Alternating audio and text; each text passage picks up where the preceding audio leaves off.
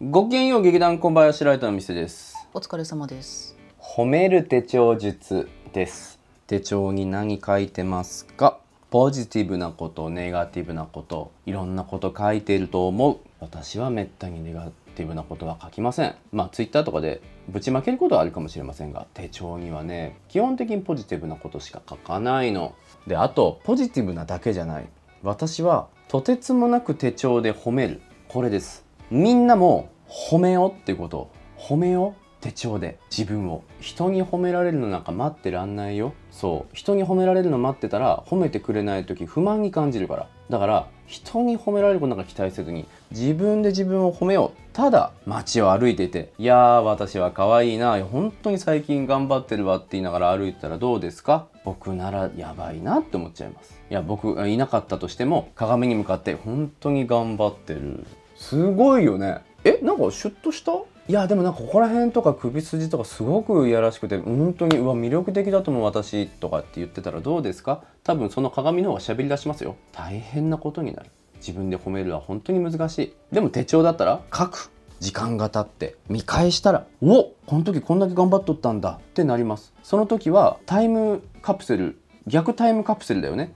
昔の自分が自分を褒めてたことでその時はやばい人よ。鏡に向かって喋ってる人と一緒。だけど未来の自分がそれを見たらこの時頑張ってたよって記録が自分をポジティブな気持ちにさせてくれる。褒める手帳術っていいよね。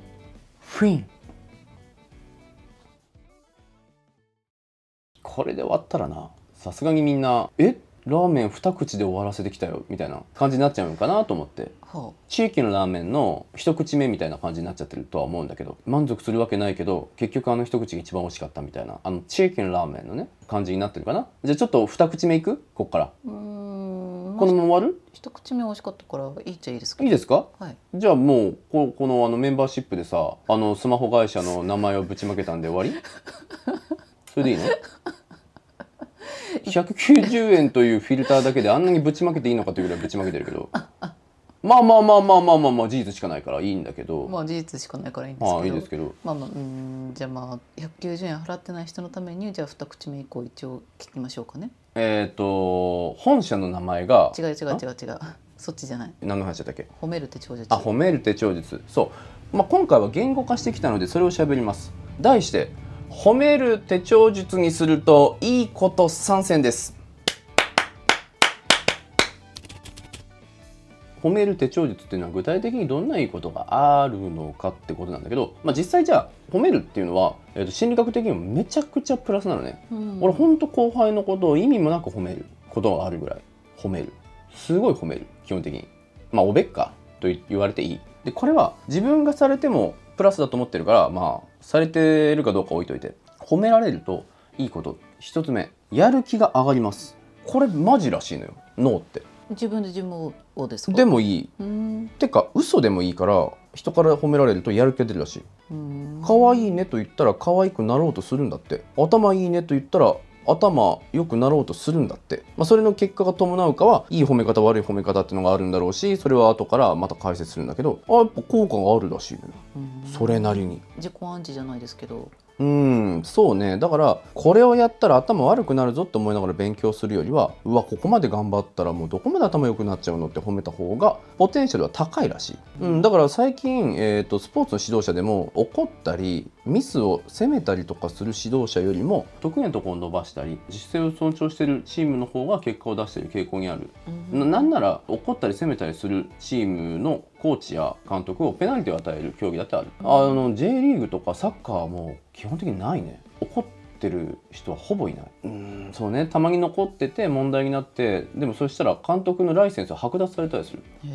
そもそも怒ることが許されないっていう世界にはなってきてる。まあハラスメントじゃないけど。まあもあるし、えー、とはっきり言って結果が出ないのよ。怒ってどうにかなるっていうのはすごく小さなコミュニティ小さな大会とかでお互いにもうギリギリに戦いをしてるんであればミスの差が結果が出ると思うよ、うん。うん。けどそういったもんじゃないじゃん。スポーツって。一生かけて何かを手に入れるとかだからその場でミスしたことを責めたりとかして心に傷を与えるなんていうのは全体の成長にはねつながらないっていう感じにはなってきたよね。だから野球とかもだいぶ減ってきたし。だからそこら辺はね実は変わってる。でそっちの方がやる気が上がった分でポテンシャルが上がる方上がる方が結果としてコスパがいいっていうことにもなる。で手帳とかで自分を褒めるっていうのもこんだけ頑張ってんだからっていうやる気になるのよこれをやらなかったら会社で取り残されるとか勉強追いつけないって思いながらだと一回追いつけなくてもっていう気持ちになるわけよ。うん。でもここまで頑張ったじゃないとかうわこ今日はこんだけできたんやとかうまくできなかったもうわなんか今日は体の調子悪かったのにここまでやったんだねっていうふうに書くことによってやる気が上がるっていうのが結局自分の人生において QOL クオリティオブライフを上げることになるんじゃないのっていう話、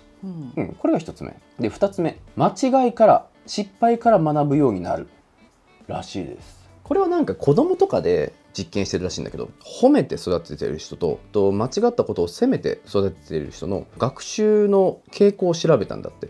まあ基本的にこれはあの一般論としては、えー結構真実だと思うんだけど褒めて育てた人たちっていうのは答案をミスるじゃない。そしたらなんでミスったのかなとかこう次はミスらないようにしようっとって言って間違いに向き合うことができるの。でもうわーこれ70点30点ミスったやんかみたいな感じで言うと間違いは見たくなくなるんよ。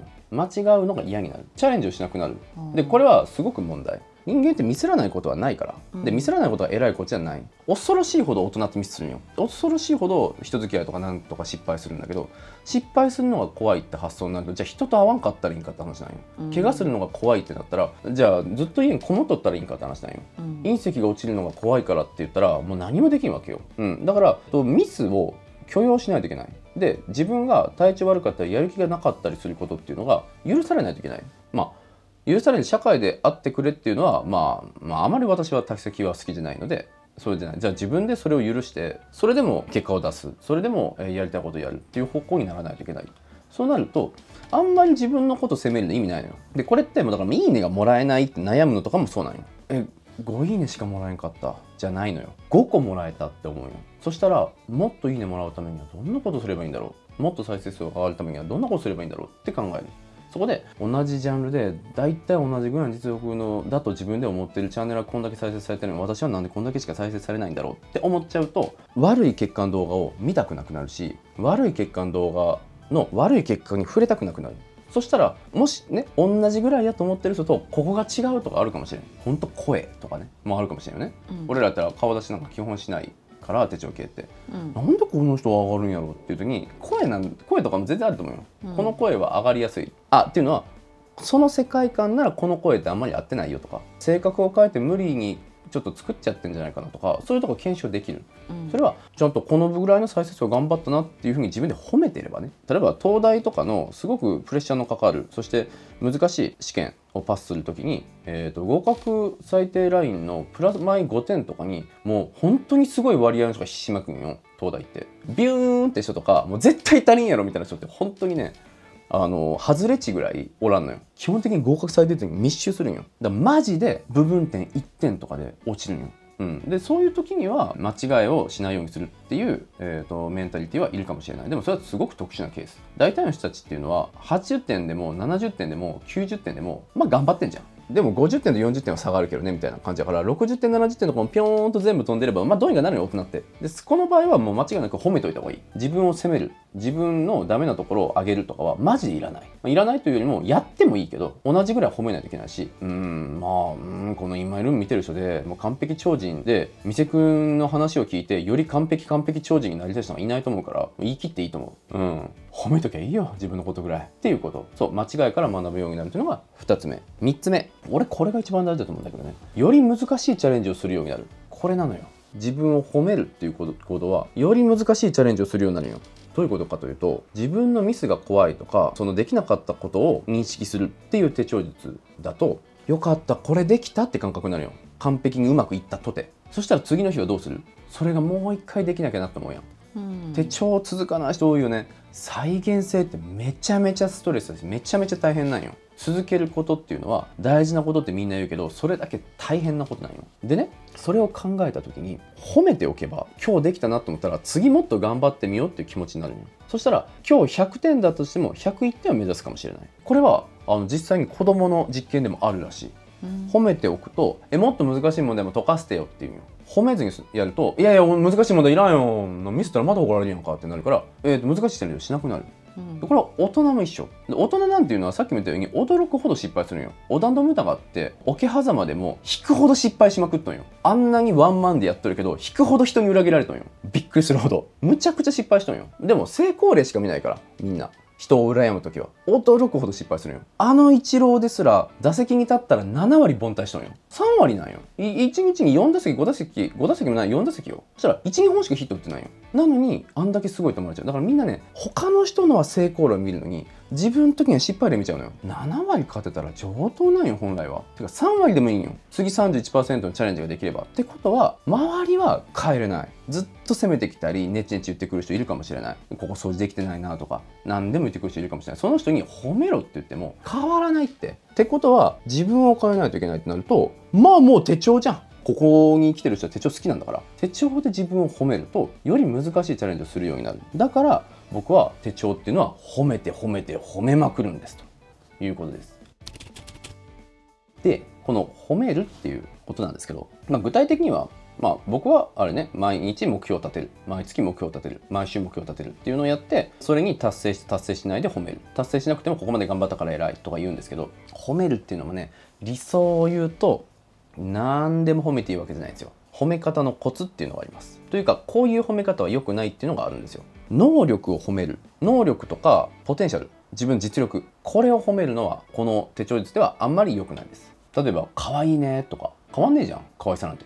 これは褒めてもしょうがない。いや褒めてあげたらそれ嬉しくはなると思うよ。けどじゃあ例えば工藤さんのこと可愛い可愛いって言ってたとする。工藤さんはいい気分になってさメイクとかさ勉強とか頑張ったとする。そしたらもうどう考えても工藤さんよりも美に対して努力してる人が横に現れたとする。そしたら工藤さんの褒めてる褒められてたことっていうのがこの人よりは頑張ってないなってなっちゃうのよ。僕が大切にしてるのはその人の努力や行動を褒めるんです。工藤さんよりも明らかに美を追求した人がいたとしてもでも工藤さんここまで頑張ったもんねってことなんよ。だから工藤さんってこういうことやってるよねとか、まあ、なんかまあ最近満強つけてるよねっていうとこを褒めてるだったらもう満強とかも完璧になってる人が現れたとしても工藤さんに褒めたことは消えんやん。でも工藤さんマニキュアセンスあるね。最高やねって褒めてたら、まあ、明らかに横にもうセンスがある人がいるってなったらその人よりは価値が下がっちゃうってことになる。でこれはどうなるかっていうと賢さとか能力とかポテンシャルを褒めてる人っていうのは自分を守る行動に出るんよ。例えばテストで100点取った頭いいねって褒めちゃう。そうすると頭いいねっていう状態を維持したくなるんよそれはいいことなんじゃないチャレンジしななくなるね。テスト受けたらさ頭いい悪いの結果が出ちゃうじゃん。テスト受けけなくなるんよ。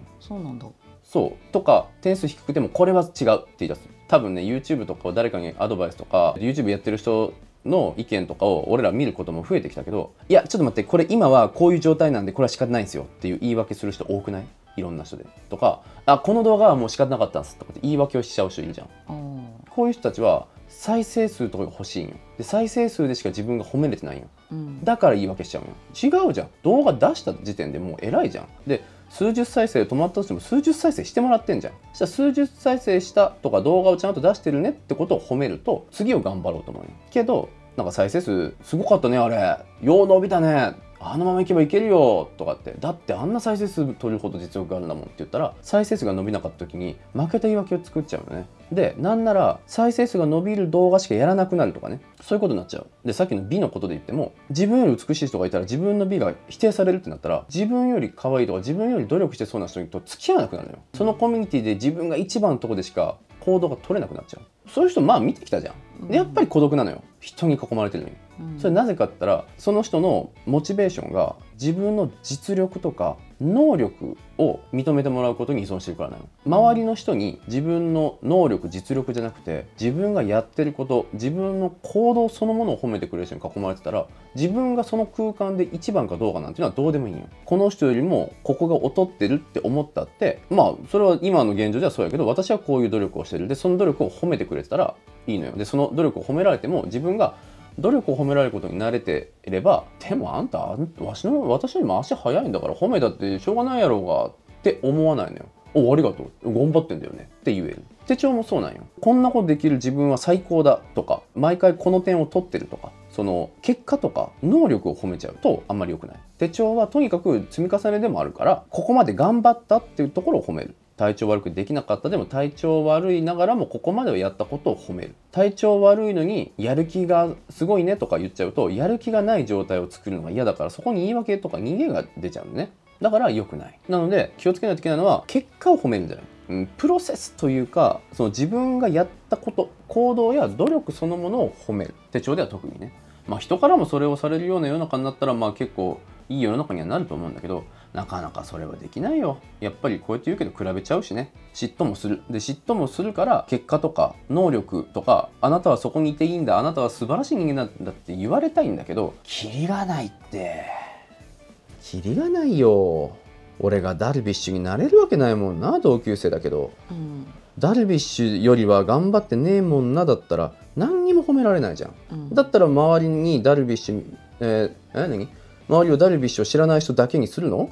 他にも多分いるよ完全上位互換みたいな人間。って言ってコミュニティでさとにかく自分よりもレベルが低いことを確認しながらやっていく。自分よりも映画下手なやつの周りで頑張って書きました。って言ってあうまいですねって言われて。それじゃダメだよねやっぱり。だからやっぱり人に褒められた時に、えー頑張ってますねって褒められてればよしもっと頑張るもっと頑張る。多分インマイルームってそこが多分めちゃくちゃ結果の原動力になってるのよ。今マイルームはチャンネル登録者が多いから褒められてるんじゃないよ。見守ってる人たちが、うわ、増えてってるねって言ってくれてるやんか。そこの過程を楽しんでくれてるコンテンツだから、多分俺らもやる気が出るよ。ここで、うわ、最近再生数落ちてきたなって言われるのが怖かったら何のチャレンジもできないし。で、しかも多分手帳チャンネルなんだけど、手帳じゃないところにフォーカス当たってるから、俺らもいろんな戦略が立てやすいっていうことになってきてる。多分そういった形で俺らはみんなに褒められてるから、このチャンネルってうまくいってる。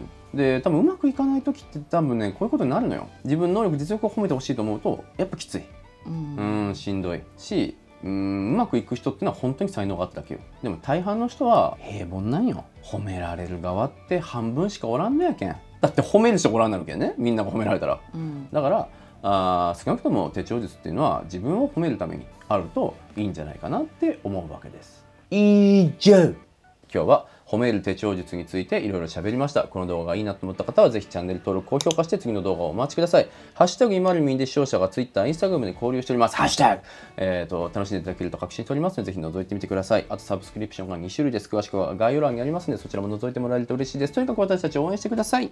よろしくお願いしますおしまい。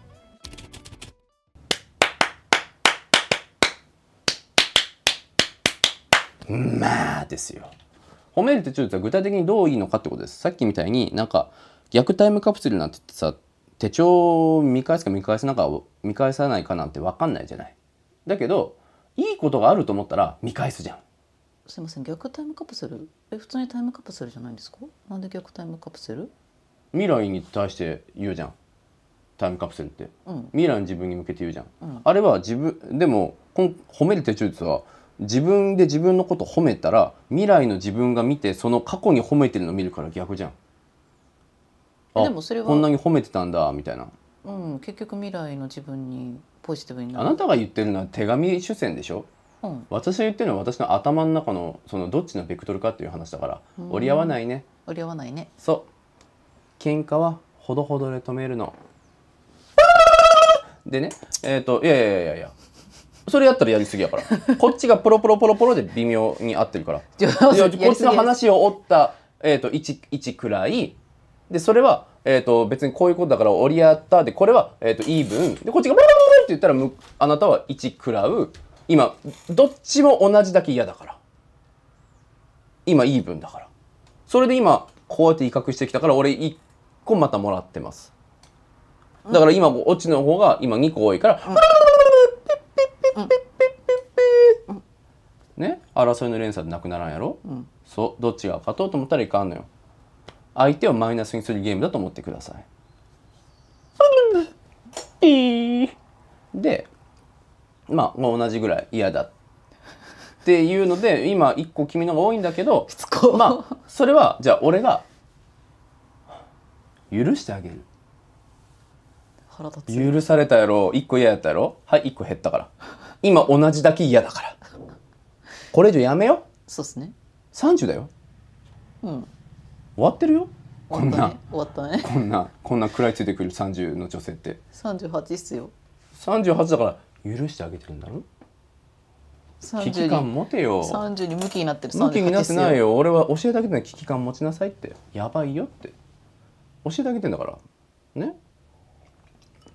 何の話？その実験をする時の子供のその IQ とかだったり環境とかだったりうんまあそれはその論文の人たちがどのぐらいの精度でやってるかは分かんない、うん。そういうことをいちいちやりだすとマジで20年ぐらいかかるよこの手の研究って。でしょうね、うん、これはねあちょっと言っとこうかあの陰謀論とか引っかかる人とかがよく引っかかるのは論文に書いてありますって言うんよ。うん論文ってねめちゃくちゃ段階があるんよ。うん。まず論文って俺でも書けるんよ。今から書けるんよ。うん。そう。論文っていうのは論じたら全部論文えでなんか申請しないといけないとか？いやそあじゃあ学会に出したら、まあ、ちょっとはその学会が許可したっていうだけ、うん。でもできればえっ、とある程度ちゃんと名前を出すことができる人に読んでもらってその人に、えーチェックしてもらうっていうのが入っただいぶ、うん。えー論文。これはかなり強い。そして、うん。その学会でちゃんと掲載された論文。うん。でその後他の人もそれを試してみた論文。うん。本当にそのスタップ細胞できるの？って言ってじゃあ他の人も研究してみたできたっていう論文。まあ再現性があるかどうかうんみたいな、待てよ。これこのやり方じゃなくて別のやり方をしたらできないんだよねって言ってはねこうはえー、とこれはね配理法とかって言ったりするんだけどあ本当にって言ってその検証もされていくっていうところまでいくといける。だからさっきの話はこの論文はもしは出どころは俺分かんないから本でそういうのがあったって言ってるだけだからその IQ とかの割り振ったとかをやっていけばより、えー細やかなことにはなるだろうけどうん。まあ基本